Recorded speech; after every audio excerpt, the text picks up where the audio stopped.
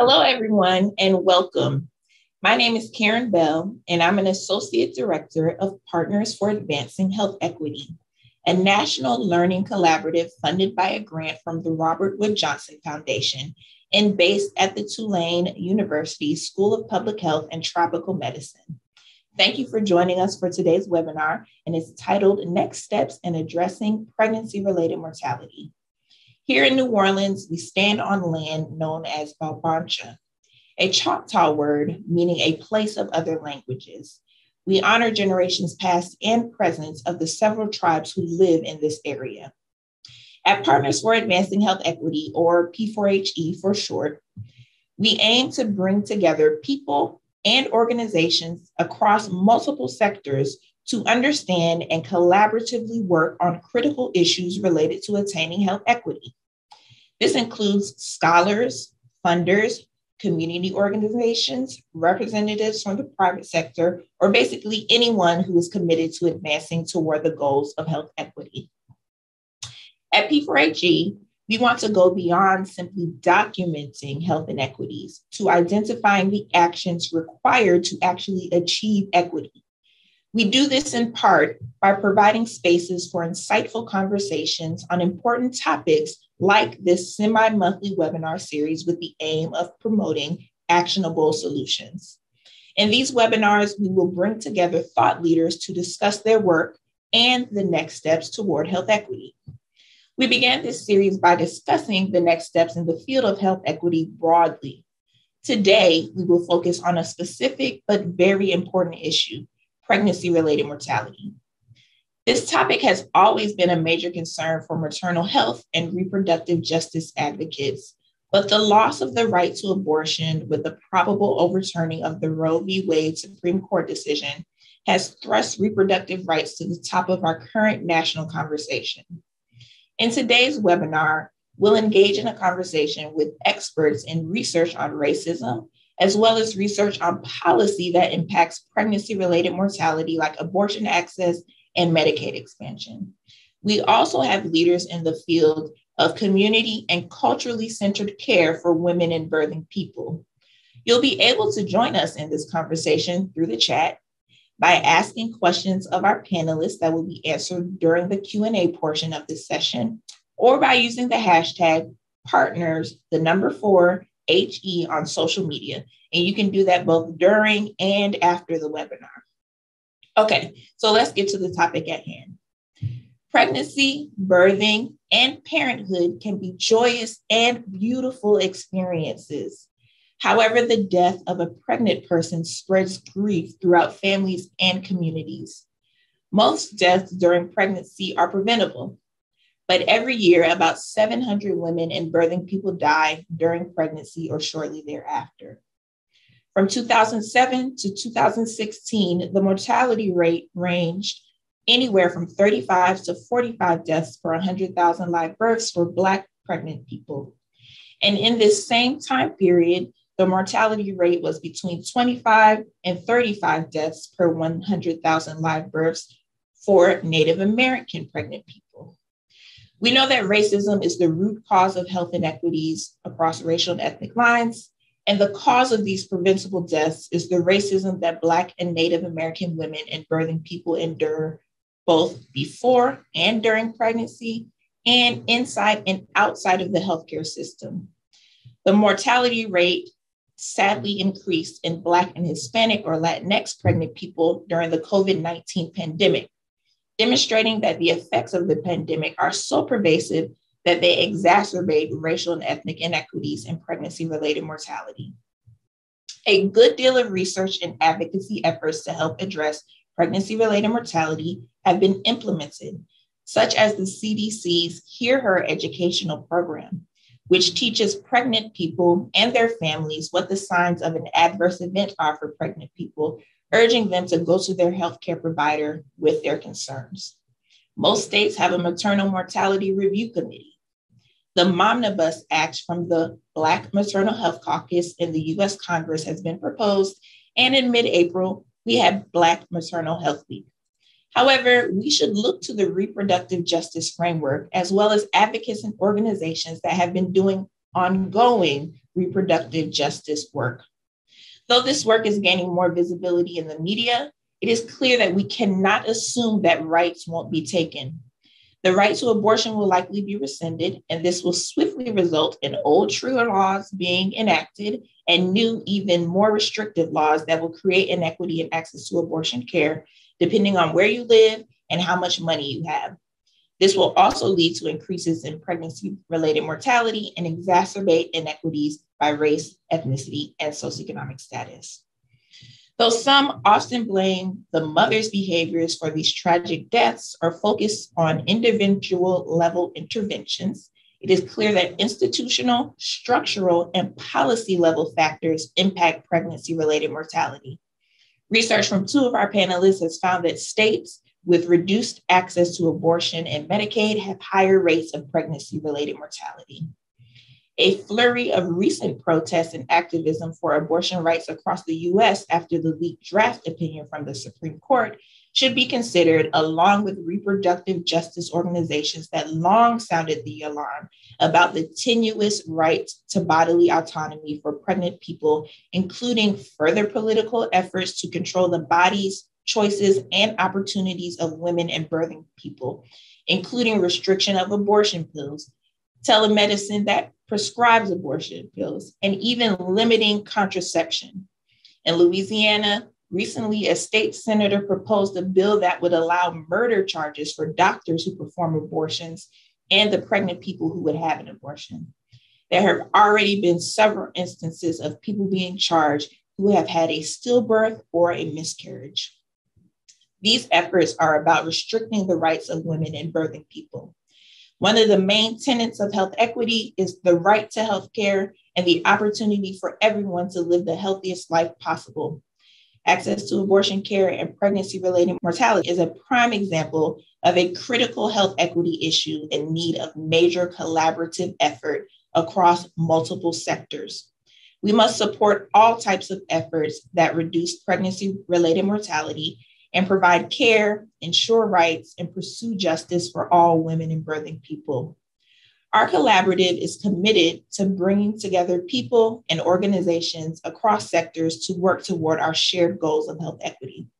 It is clear that we have to take the next steps toward health equity for pregnancy and people and birthing, um, excuse me, women and birthing people to save lives because it is not guaranteed that the right to health and well being will be respected. So, we've invited four panelists across multiple sectors who are doing that work to give their perspectives on the next steps toward equity for birth, pregnancy related mortality. All right, so first we have Marian Jarlenski. Dr. Jarlenski is an associate professor in the School of Public Health at the University of Pittsburgh. Her research examines the impact of Medicaid policy on maternal mortality and morbidity, as well as opioid treatment during pregnancy. We also have Shayai Lucero, who is the board president for the Changing Woman Initiative. The Changing Woman Initiative is a nonprofit organization that provides culturally integrated healthcare for the Native American and Indigenous women and families that they serve, including home birth services and a women's wellness clinic. Ms. Lucero is a student and practitioner of Pueblo Healing Traditions, a resident of the Pueblo Laguna, and graduate of the University of New Mexico.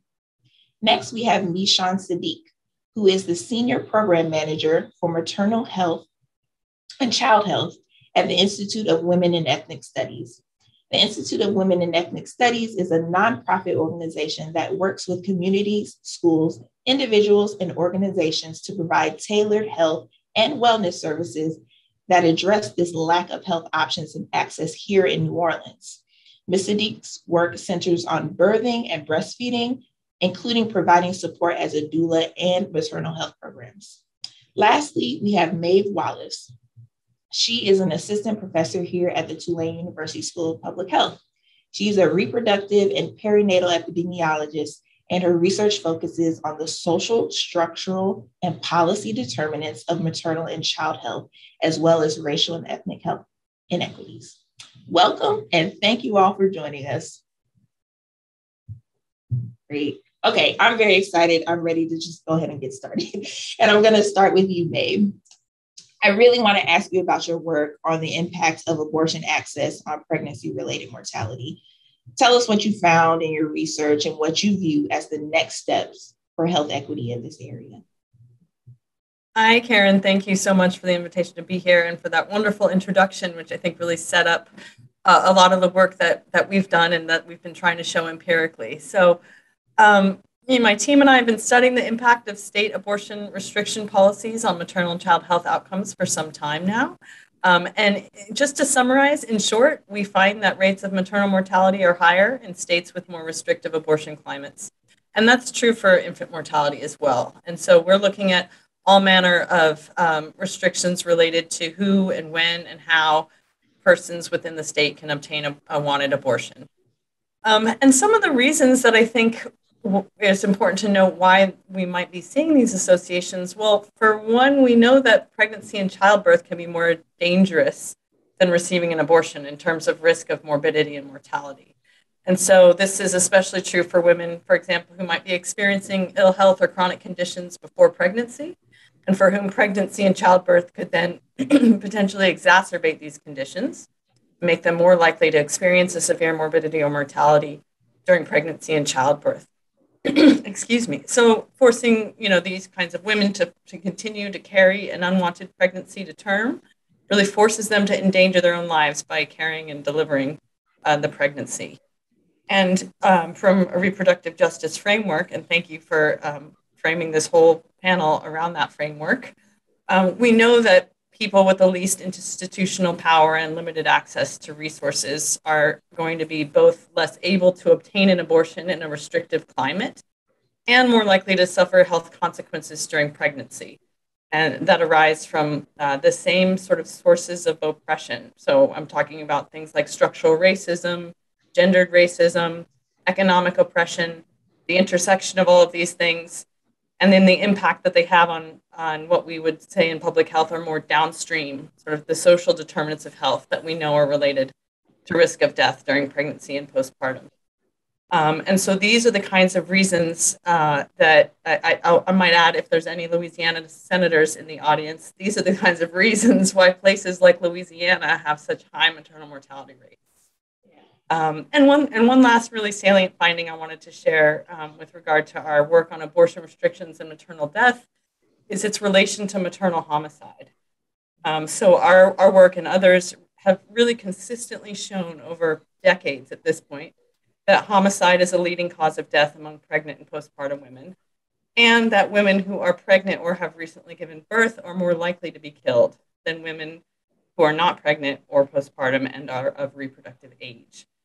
And so, you know, most of these cases are involving intimate partner violence, and we know that pregnancy can add stress in a relationship that might already be vulnerable to violence. It can increase the severity of violence inflicted by an intimate partner. And, uh, you know, really rich qualitative uh, research on reasons why women seek abortion often include um, ending an abusive relationship as a common reason. And so, again, abortion restriction policies, policies that limit bodily autonomy, um, those that restrict or outright ban abortion care, which is um, sort of the, the post Roe future we're looking at in a number of states with trigger laws, um, will be forcing women to continue to carry unwanted pregnancies into situations that is dangerous for themselves or their current or future children, um, both in terms of obstetric morbidity and mortality and violent death. Um, so to me, this is all a failure to trust women, to listen to women, um, and I want to say explicitly Black women and other women of color, um, who, you know, as you detailed uh, in the introduction, really overwhelmingly bear the burden of both maternal mortality and maternal homicide in this country. So, uh, allowing women or pregnant people to make decisions for themselves for whatever reason they have to make that decision um, can we're seeing can have really real and life or death consequences. And so um, I'll stop there.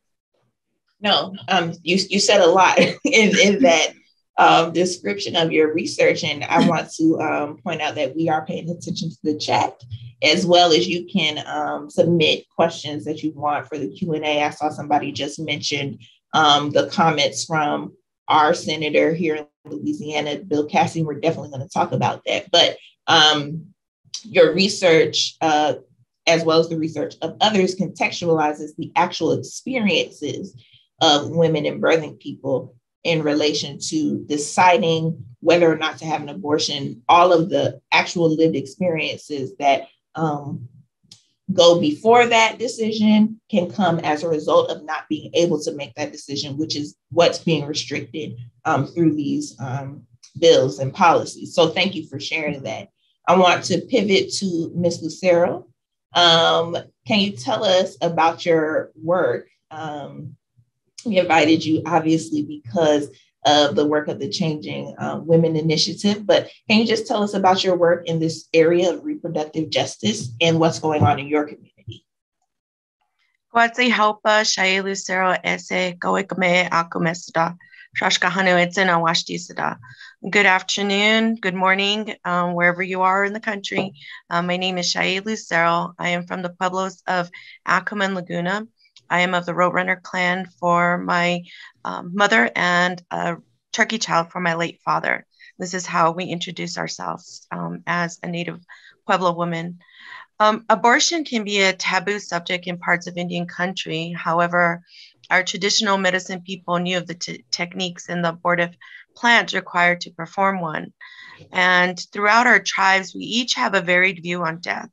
Some tribes, like mine, the Pueblos, will care for the body and bring it into a person's home before for a week before returning to the earth. Some tribes, like the Dene, the, the Navajo people, um, view death as a taboo and will utilize the services of a mortuary. But the one thing we do have in common, our commonality, is ceremony.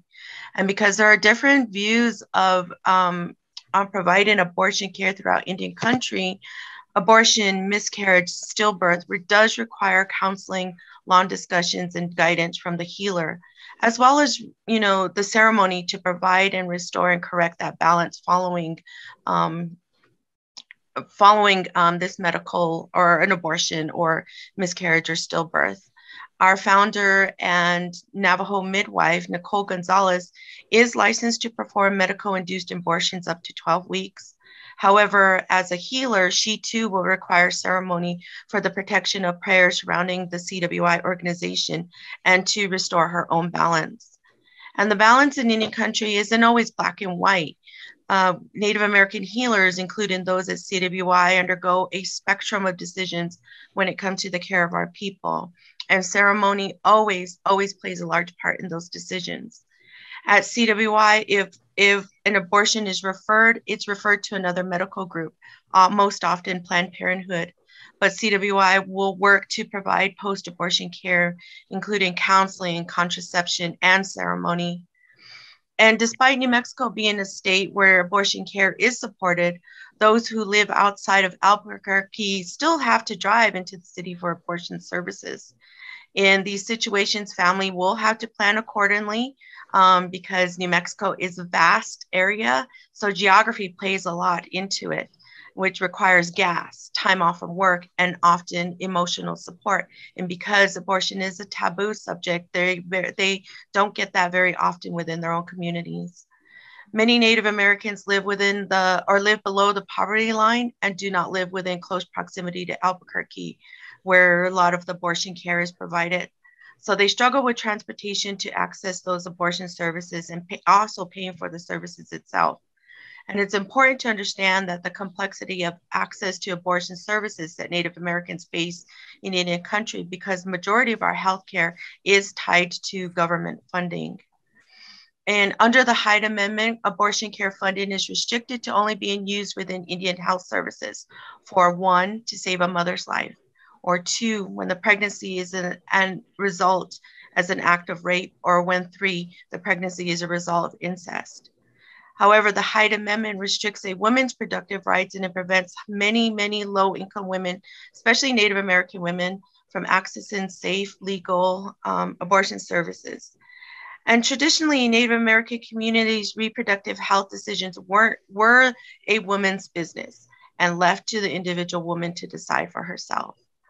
So right now, uh, of Woman Initiative is beginning to work alongside organizations like um, Indigenous Women Rising, who are currently working to provide equity in access to healthcare, particularly abortions.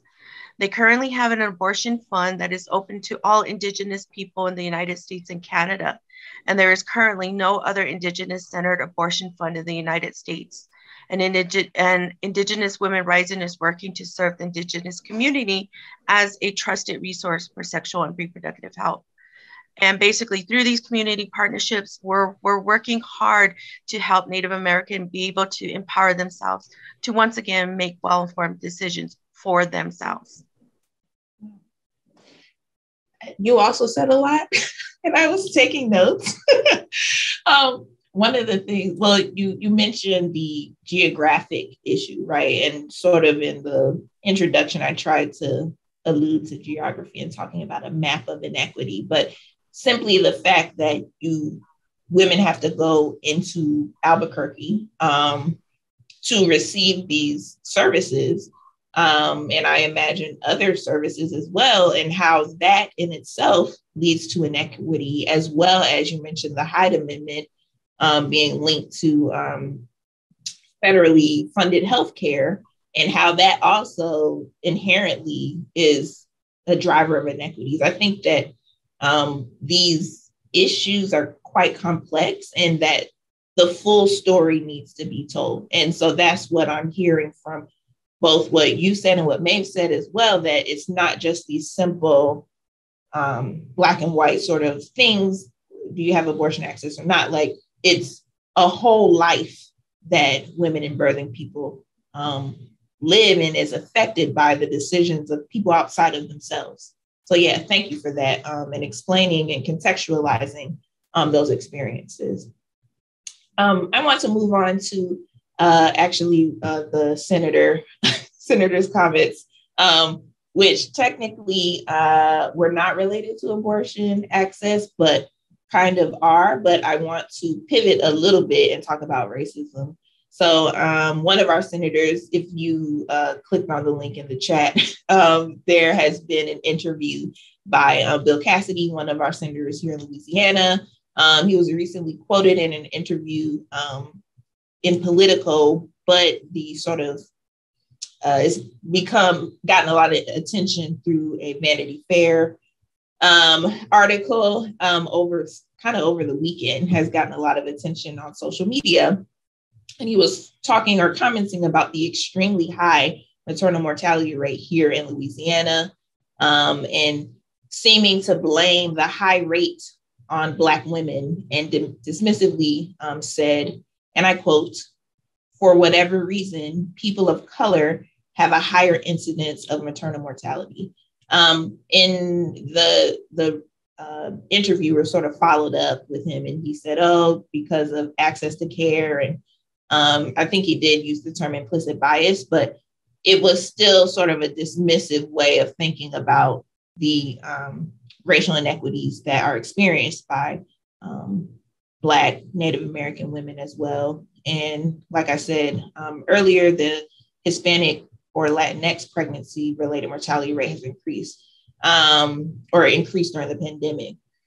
Uh, we know that it's racism that causes these higher rates of pregnancy related mortality and morbidity in um, Black women and um, Native American women and um, recently um, Hispanic or Latino women and birthing people. But this question is for you, Meshawn. Um, how do you deal with or think about sort of this dehumanizing ideology um, from people in power that tends to blame Black people when your work is about sort of empowering and doing community based work that is empowering for um, Black people and Black women and birthing people. Thank you again for having um, us here today. And yes, that is, a, I'm taken aback a, a little bit about the question. I've been on the phone this morning with some of my colleagues about this very question and not wanting to be reactionary, but also thinking that this is not surprising. Uh, this is what we've been dealing with, where I love uh, having Dr. Wallace present because the research it, the research shows it that it is uh, implied implicit bias. It is racism. It's the reason why Black women are dying, and just to hear uh, a comment um, that devalues a life It doesn't matter the race of the individual, just we don't care. But the data shows that Black women and Black birthing people are dying because of systemic racism. And that's the reason why we're doing this work together. And when I say you, we, I'm talking about the researchers, um, that are doing a great job of making sure that we understand the numbers, but also organizations like uh, where I am, the Institute of Women in Ethnic Studies, who has been around for almost 30 years doing community based research and uh, utilizing a human centered design. And using that, we make sure that we're uh, utilizing the voices of our community members when we're planning a program, when we're implementing a program, and when we're evaluating a program, because it goes beyond the numbers and understanding why individuals are dying or why they're receiving subpar care when you listen to what they actually went through. So in 2020 and 2021, we conducted a series of in depth interviews and focus groups with Black women and white women who um, experienced severe maternal morbidities here in Louisiana, who had babies in the NICU, who uh, were breastfeeding. And then during the COVID pandemic, we also interviewed individuals who chose to have a home birth because of uh, the COVID experience, um, the changes in hospital policies. And from that, we heard that women really understand that they are dying and that it's um, very disheartening to know that when women, Black women, go into the hospital to have a baby, they're concerned that they might not come out alive. And they understand that going into the doors. And so, how, what do we do? So, what came out of those focus groups, some things that I thought was very um, important that we need to take to senators like Bill Cassidy so that he can sit.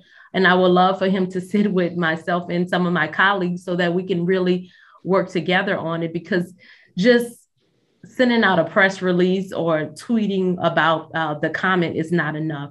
We need to head face racism right in in its face and so sitting down together and saying what it looks like and talking about what can we do because we have the tools necessary in our state to make the changes and so if we can sit at that table uh, we can talk about what they uh, the individuals talked about in our focus group that communication is important that providers need to sit down and communicate effectively what issues are going on with that individual and build a trusting relationship. It is not that women do not want to be or compliant to what their doctor's orders are but if they can't trust you then they don't understand or don't value what's coming across the table because they think that they might die based on the the instructions that may be given. So trust is important that we need to do. And also care coordination. In Louisiana, and Dr. May can share her data, but we've learned that women are dying for overdose. Like, what are we doing as a state to make sure that women are screened properly? What are we making sure that they uh, can collaborate, uh, a provider can collaborate with a mental health provider to make sure that they get the support? And are we utilizing policies that are more punitive in our state? So if we hear the voices of the individuals that um, have these concerns, if we listen to those voices and create programs, create policies that address those issues, then we can have a healthier state. I'll, I'll stop there. I, I can no, go on this topic. I wanted you to keep going, but I appreciate um, what you were saying, how you were how you were describing the work.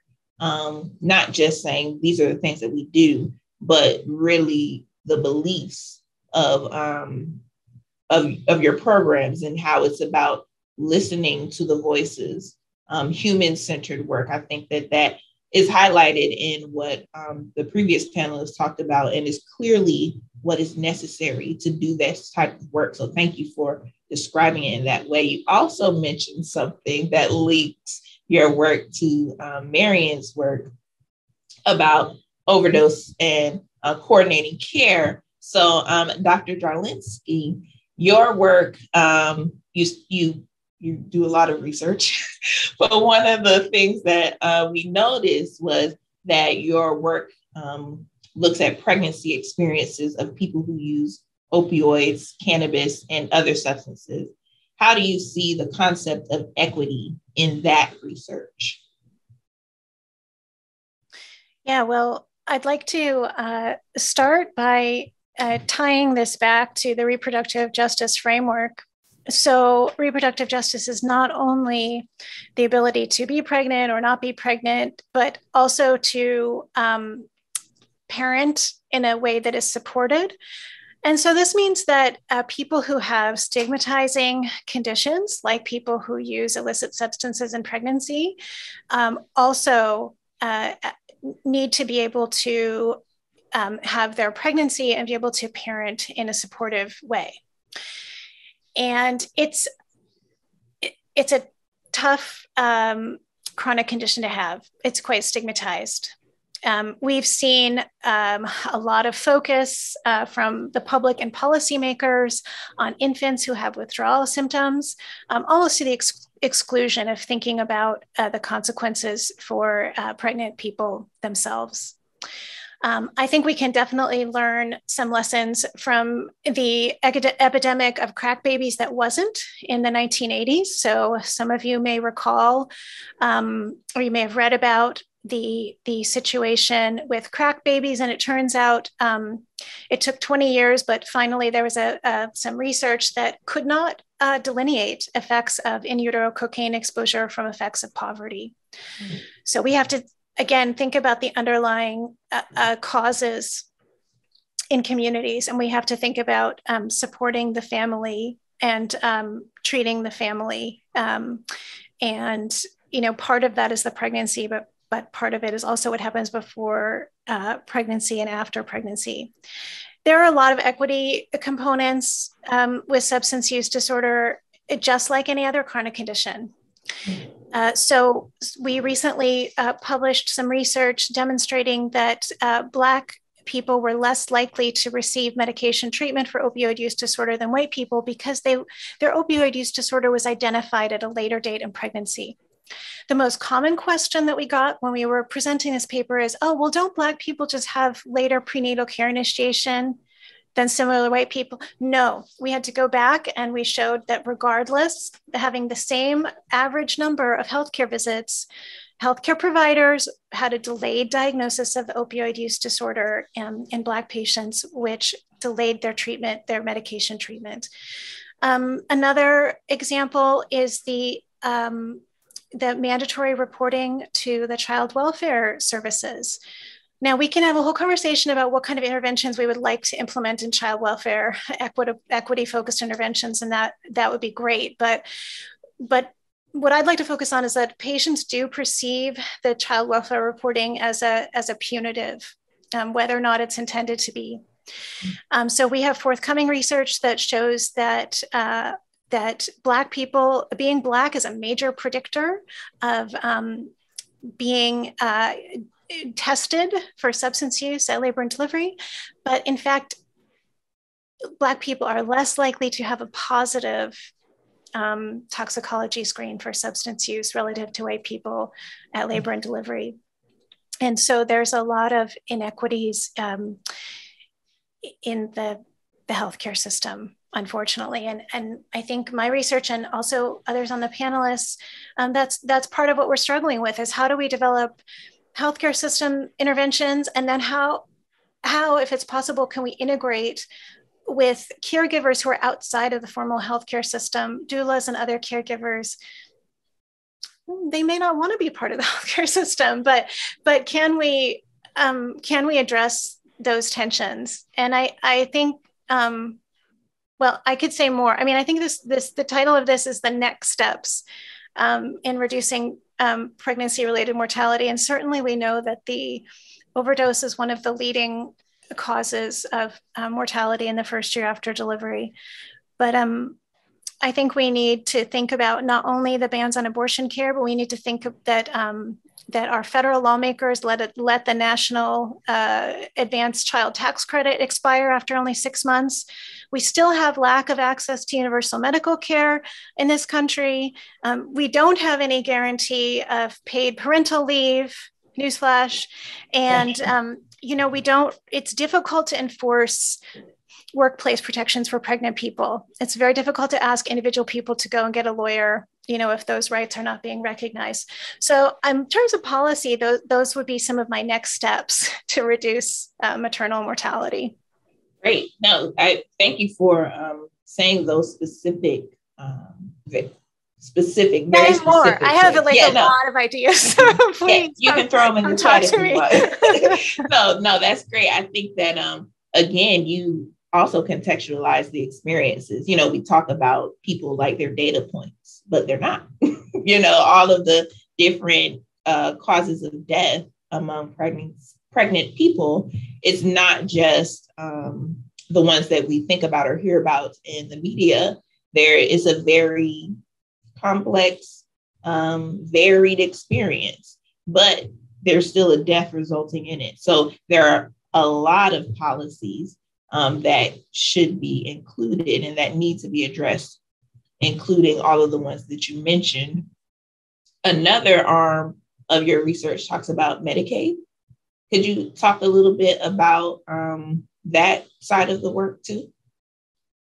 Medicaid is the largest single healthcare program in the United States. Um, Medicaid pays for 42% of all pregnancy care um, and pays for, on average, 68% of pregnancy care among Black populations.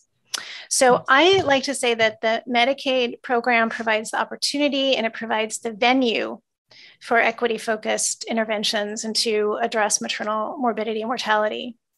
Now, past research on, on Medicaid expansion, both in pregnancy and more recently under the ACA, has shown that you know just giving people insurance doesn't automatically reduce disparities. It doesn't automatically improve health equity, and that's probably not surprising because it's a universal program. It's not a it's not a program that's targeted toward equity. Just giving someone insurance is is the floor, um, not the ceiling.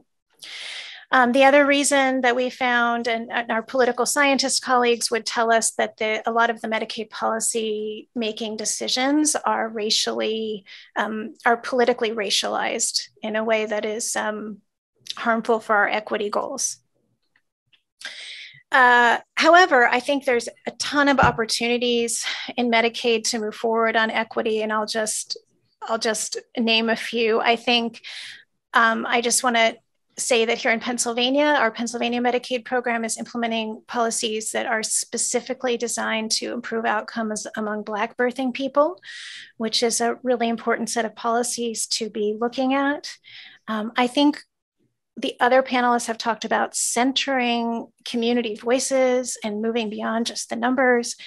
And that's incredibly important. And I think our federal government has vastly under, under invested in this in the Medicaid program. So in Medicare, we have a lot of uh, surveys, primary data collection, the National Health and Aging Trends Study, and we don't have any comparable investment to understand people's experiences or biomarker data or other kinds of data from the Medicaid population. I think there's an incredible opportunity there to think about how to create a national uh, pregnancy and obstetric surveillance system in this country. And I'm sure you could talk to any one of us on this panel, and we would be pleased to help you um, implement that. Okay, I'd like to say one more thing. And, um, so about Medicaid, I, and those of us who work in large academic medical centers may know that there are separate clinics. It's actually Medicaid clinic, um, for OB-GYN is separated from the private insurance clinic and it's very racialized as well. And so that's uh, something I think that we need to work on within our own institutions to change that. Yeah, okay, thank you. I go back to Meshawn and Shaye to talk specifically about the um, birthing work that uh, you all or your organizations do. Um, I know Meshawn, you do doula as well as breastfeeding programs and all. If you could talk about that and Shaye talk about specifically what the Changing Woman Initiative does, because we've been talking uh, sort of up here, and I want to make sure that we know exactly, uh, you know, what the organizations do for our own um, information as well as for others who might want to be involved in that type of work as well. So please, uh, whoever wants to go first, but I just want to make sure that we um, talk about those specifically. Yeah, beforehand, um, if we could stay up high a little more um, okay. to what Dr. Jarlenski was saying about the policies, about the next steps. She talked about um, doula care. And in the state of Louisiana, that is one of the policies that we've been pushing um, forward, uh, pushing for. Last year in the 2021 legislative session, we were able to establish a doula registry board with our goal to eventually get doulas reimbursed in this state um, because of the connection that doulas, there's data to show that doula care also reduces or improves birth outcomes. And they also, serving that uh, as a doula, I know that doulas can be more of like a, a navigator, can be the person that helps to build that relationship with that provider so that you can have more, as they uh, say sometimes, compliant patients. The other thing that um, from a policy perspective here in Louisiana, uh, the Louisiana lawmakers just passed the Louisiana Perinatal Mood and Anxiety Disorder Act, which also which is very helpful in as we looking at those focus group. One of the through lines between all of the focus groups, whether we were talking about breastfeeding, whether we're talking about um, childbirthing complications or in the, uh, babies in the NICU, was mental health support every woman wanted mental health support. And so, with this uh, new act, providers, OB and pediatricians and pediatric uh, primary care providers will screen individuals for depression and anxiety so that we can get them to the resources or services that they actually need. But also um, for our general population, there will be changes in our birthing facilities because our birthing facilities now will provide information to providers, well, not to providers, to patients and their families about the signs and symptoms of perinatal mood and anxiety disorders.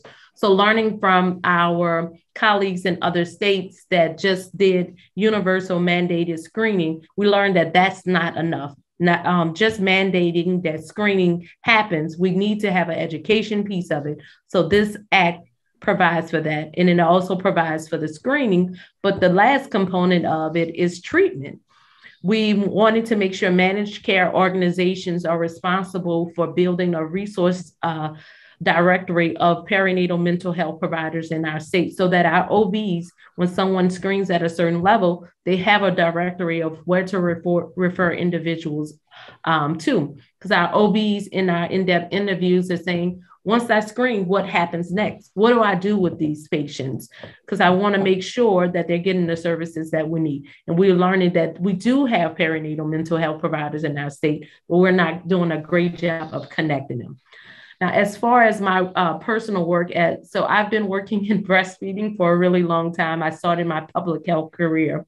So I don't, most of my doula care work and breastfeeding work are volunteer work. Um, but I do know that um, so we have other organizations that that's their full time work in Louisiana, like Birthmark Doula Collective and Labor and Love.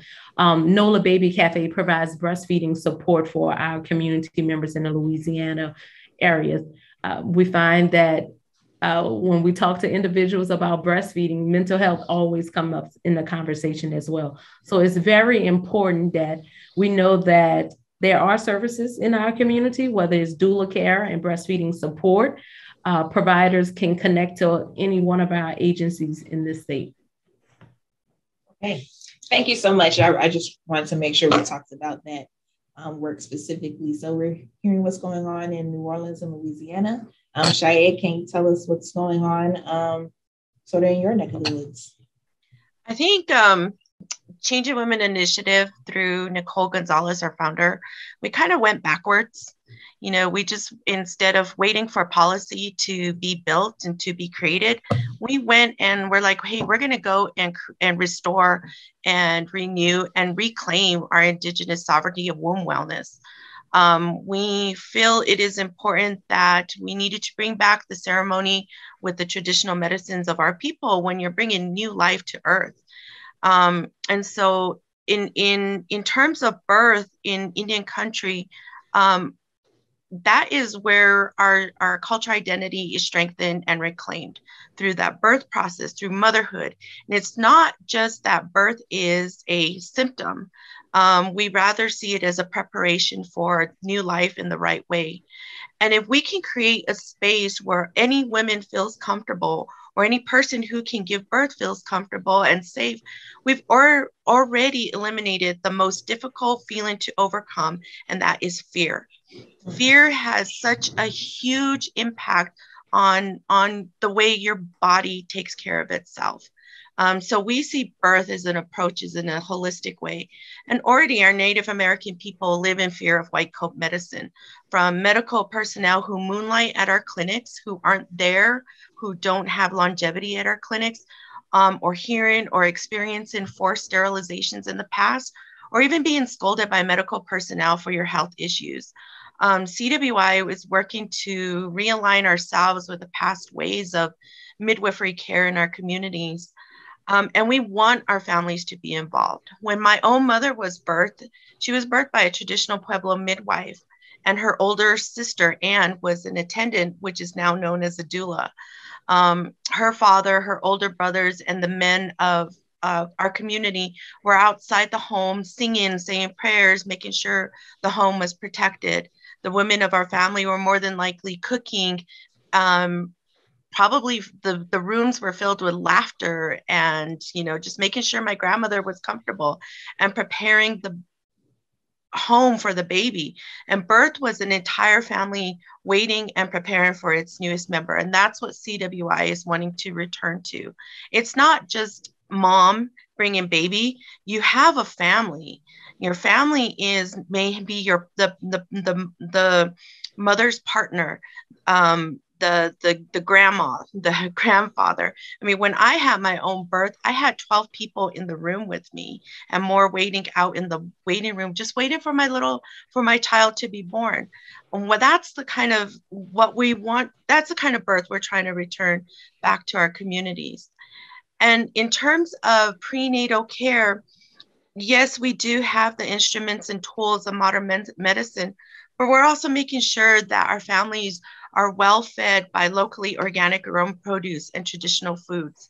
Um, we offer an um, immersion Dene language program for our Dene families so that they can talk to their babies while in womb and that it, it continues after the baby arrives.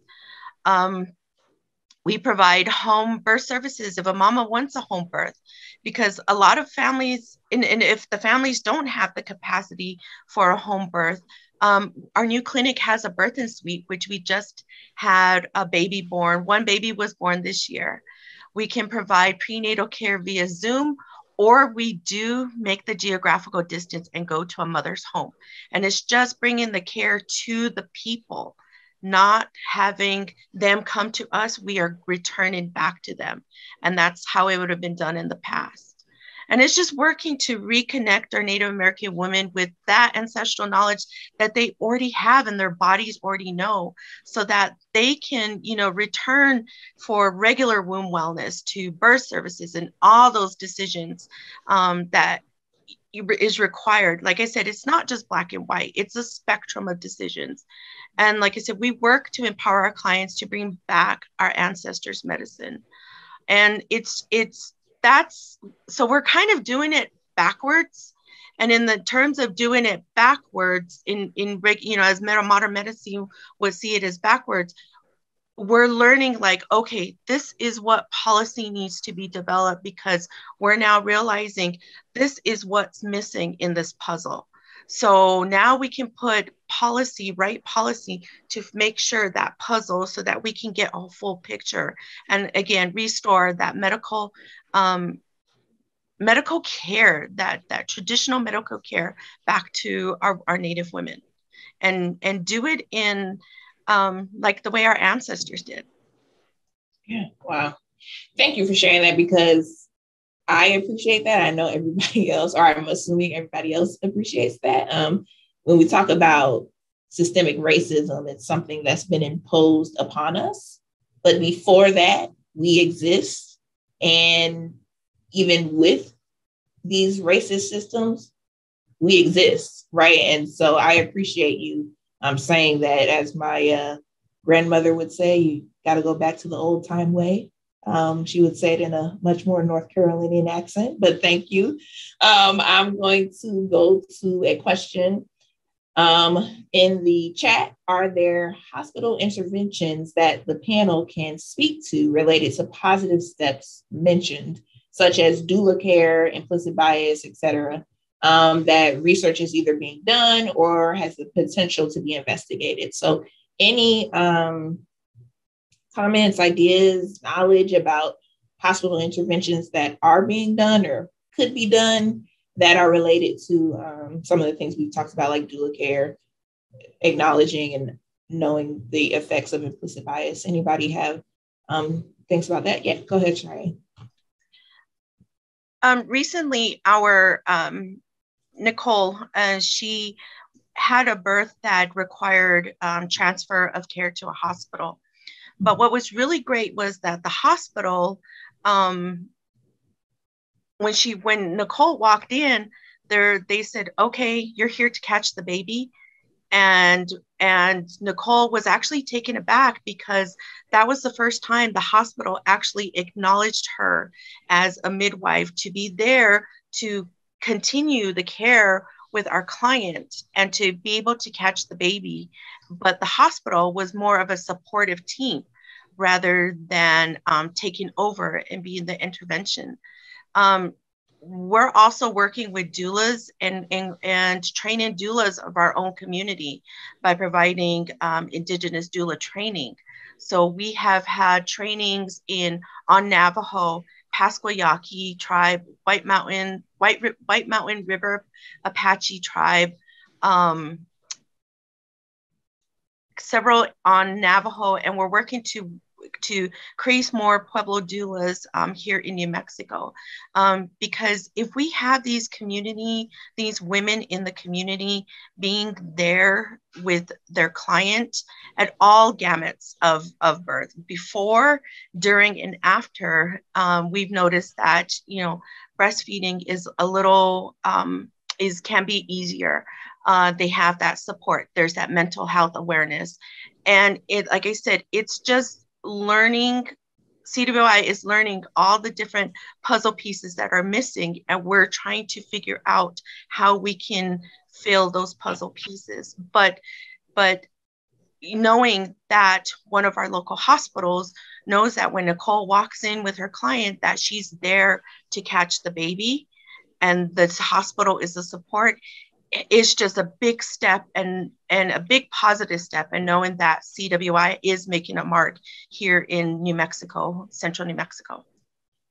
Thank you for sharing that um, and answering that question. I think in the next uh, two minutes, if you all could just share um, either broadly or specifically, however you want to answer the question, what um, do you think the next steps are um, toward health equity for this specific um, issue of pregnancy related mortality. Um, anyone can start, share how you like. Go ahead. If I can respond to the question first. Oh, yeah. Sorry. Go ahead. As far as doula care um, in Louisiana, there, uh, to my knowledge, no not uh, any hospital-based doula care programs, but there are um, community-based doula organizations. And Healthy Starts in New Orleans, and I believe in Jefferson as well, are utilizing doula care for their clients. So if individuals um, uh, are eligible for Healthy Start, then they can re- receive free doula care through that. As far as implicit bias on a national level, well, both um, that I want to offer on are on the national uh, level. The National Birth Equity Collaborative provides a birth equity training for hospitals that deals with implicit bias. And then AIM CCC, AIM CCI, uh, which is based out of the National Healthy Start Association, they have this new um, online training through APHA called the Racial Equity Learning Series, RAILS, uh, that individuals, whether they're providers, uh, mental health, doulas, can do this training as well, uh, just to touch on the implicit bias. As far as next steps, I think it, uh, I, what I appreciate in here in New Orleans that MCH professionals are working together uh, whether it's a researcher, whether it's a doula, a lactation consult, counselor. Um, some OBs are a part of it and midwives as well.